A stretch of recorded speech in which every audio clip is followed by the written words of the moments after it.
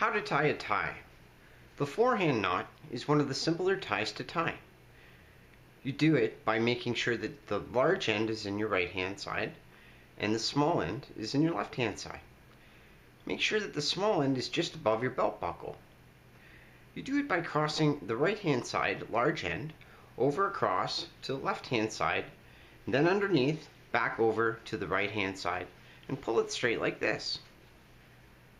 You then pass it again over to the left hand side, but this time you pass it up and through the loop where your neck, the loop where the neck hole is, holding it up like this.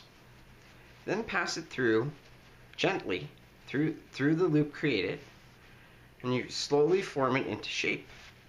Take your time with this because you only have one chance. So as you have it coming closer and closer.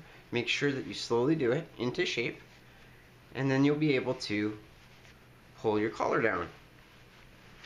Now there is a loop that's presented on the back of each man's tie, and you can then place the small end through that loop to make a nice neat tie presentation.